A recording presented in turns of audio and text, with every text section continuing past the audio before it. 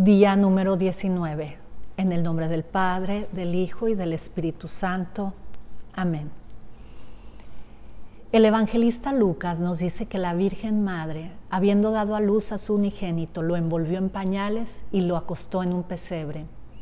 Él no dice que ella lo recibió en sus brazos de su vientre virginal, ya que esto no venía al caso con el propósito de su narración. Pero los dos príncipes soberanos, San Miguel y San Gabriel, fueron los asistentes de la Virgen en esta ocasión.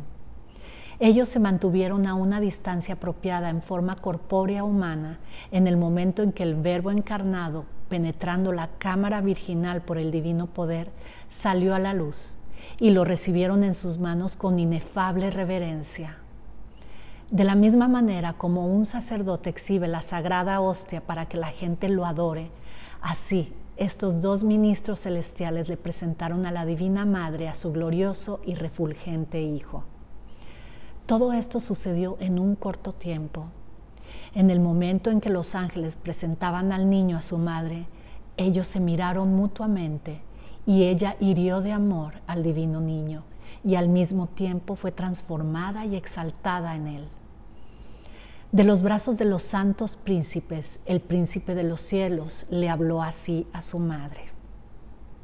Madre, te asemejarás a mí, ya que en este día, por la existencia humana que tú me has dado, siendo Dios y hombre, te daré, tomando en cuenta que eres una criatura, esta semejanza, siendo tu existencia aún más excelsa en la gracia. Nuestra Señora contestó, Elévame, levántame, Señor, y correré detrás de ti en olor de tus unciones. Muchas otras cosas se dijeron, palabras sacramentales. Las palabras que María Santísima escuchó de boca de su divino Hijo le sirvieron para hacerla entender al mismo tiempo los actos internos que se llevaban a cabo en su alma, unidos con la divinidad, para que al imitarlos se asemejara a su Hijo. Esta fue una de las mayores bendiciones que recibió de las manos de su Hijo, el verdadero Dios y hombre, no solo porque esto continuó durante toda su vida, sino porque le proveyó de los medios necesarios para que imitara la vida de su Hijo tan fielmente como le es posible a una mera criatura. Al mismo tiempo, la Señora del Cielo percibió y sintió la presencia de la Santísima Trinidad y escuchó la voz del Padre Eterno diciendo, Este es mi muy amado Hijo, en quien me complazco y deleito.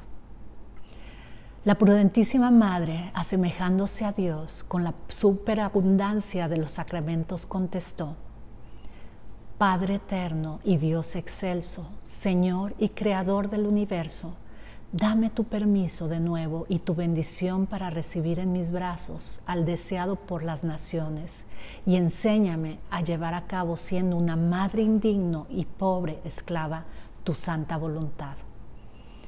Inmediatamente escucho una voz diciendo, recibe tu unigénito, imítalo y críalo y recuerda que debes sacrificarlo cuando yo te lo pida. La Santísima Madre contestó, He aquí la criatura de tus manos, adórname con tu gracia para que tu Hijo y mi Dios me reciba como su esclava. Y si quieres venir en mi auxilio con tu omnipotencia, seré fiel a su servicio.